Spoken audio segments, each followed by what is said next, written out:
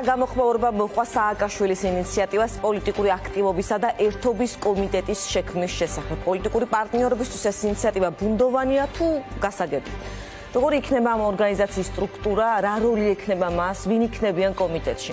ინიციატივა მიხელ სააკაშვილს ეკუთვნის, ის ამბობს, რომ ახლა ოპოზიციის სრული კოორდინაცია საჭირო.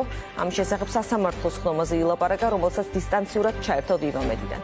მესამე პრეზიდენტის ინიციატივით კომიტეტში უნდა შევიდნენ ნაციონალური მოძრაობის თავმჯდომარე ლევან ხაბეიშვილი, ფრაქციის თავმჯდომარე თინა ბოკუჩავა, გენერალური მდივანი პეტრე ცისკარეშვილი, პოლიცსაბჭოს თავმჯდომარე ლევან ბეჟაშვილი, ნაციონალური მოძრაობის წევრი სოფო ჯაფარიძე. სააკაშვილს სხვა სახელებზე და გვარებზე არ უსაუბრია, არ დაუსახელებია. მან აქცენტი გააკეთა კომიტეტში საზოგადოებისთვის ცნობილი პირების ჩართულობაზე, ახსენა ამ სიტყვის დროს მათ შორის ისეთი ადამიანები, მათი ჩამოყვანა, რომლებიც ამჟამად არც ქვეყანაში იმყოფებიან და არც პოლიტიკაში არიან.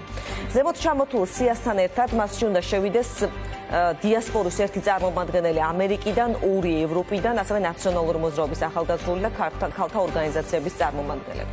სააკაშვილის ხედვით ეს უნდა იყოს იდეების გენერირების ადგილი, ყოველგვარი ბიუროკრატიისგან თავისუფალი, ამერიკული მოდელის მსგავსი მოქმნილი ეროვნული თანხმობის სტრუქტურა პოლიტიკური სათათბირო. მისი мотиваცია ასეთია, ახლა ერთიანობის დროა და ყველანაირი წყენა გრერძზე უნდა გადადონ, რადგან საქართველოს ყოფნა არ ყოფნის საკითხი წყდება. მესამე პრეზიდენტი ამბობს, რომ თავადაც მზად არის შევიდეს ამ კომიტეტში ამ შემადგენლობაში. ეს არის შეთავაზება მათთვის, ვისაც სურს ქვეყნის გამარჯვება, მაგრამ შესაძლოა არ სურდეს პარტიაში გაერთიანება ან პარტიულ აქტივობებში ჩართვა, მონაწილეობა, ასე ხედავს ამ კომიტეტის შემადგენლობას ნაციონალური მოძრაობის თავმჯდომარე ლევან ხაბეშვილმა დღეს თქვა, რომ შეთავაზება არის საჯარო და პასუხებიც იქნება საჯარო. ვინ გაერთიანდება ნაციონალურ მოძრაობასთან ერთად ამ კომიტეტში? დღეს ეროვნული მედიის წარმომადგენლები დაინტერესდნენ, იქნებიან თუ არა კომიტეტში, მაგათაც ნიკა გვარამია, კობა ნაყოფია. ნიკა გვარამიასნაირი ადამიანებისთვის ნაციონალურ მოძრაობაში ყოველთვის იქნება კარი ღია და არა მარტო კომიტეტში ამბობს პარტიის თავმჯდომარე. რაც ეხება ყობა ნაყოფია საკლევან ხაბეიშვილს ასეთი განმარტება ჰქონდა ნაყოფია ნაციონალური მოძრაობის ერთ-ერთი ლიდერია და მას ივანიშვილთან საბრძოლველად დამატებითი ფუნქცია არ სჭირდება. თავად ნიკა გვარამია ამ დრომდე არ გამოხმაურებია სააკაშვილის ინიციატივას ჯერ არაფერი უთქვამს ნაყოფიას. ჩემი თხოვნა რომ რაღაცა კონკრეტულ სახელდაგო გვარებამდე ნუ დავიყვანთ ამას. ნიკა გვარამიაზნაირი ადამიანებისთვის ნაციონალურ მოძრაობაში მუდმივად იქნება კარი ღია და არა მარტო კომიტეტში პირობითად ვამ ზოგადად. კონკრეტული ადამიანები უბრალოდ თავად ღებულობენ გადაწყვეტილებებს რა სურთ მათ და როგორ პოლიტიკური ცხოვრება უნდა და როგორი საჯარო ცხოვრება უნდა. ჩეხება კობანაყოფიას ის არის ნაციონალური მოძრაობის ერთ-ერთი ლიდერი და მას შესაბამისად სხვა დამატებითი ფუნქცია ბიზნეს იუენშულთან საბრძოლოდ იჭუმაქ რომ არ ჭირდება.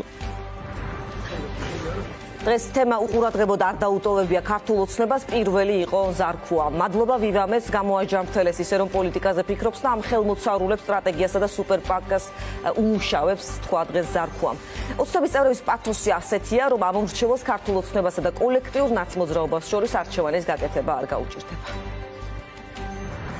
მოუწოდებ რომ ყურად იღონ მათი ბელადის დაკვეთა გაერთიანდნენ ეს ლუზერები და ხელმოწარულები ერთად და ქართულ ამორჩეულს უფრო გაუმარტივდება არჩევანის გაკეთება ხელმოწარულებსა და აგერ ქართულ ოცნებას შორის ოსსა და შიდობას შორის ლუზერებსა და გამარჯვების პლატფორმას შორის.